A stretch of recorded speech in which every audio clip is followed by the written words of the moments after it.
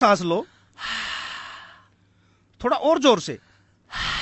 Very good very good और ज़ोर से। और ज़ोर से।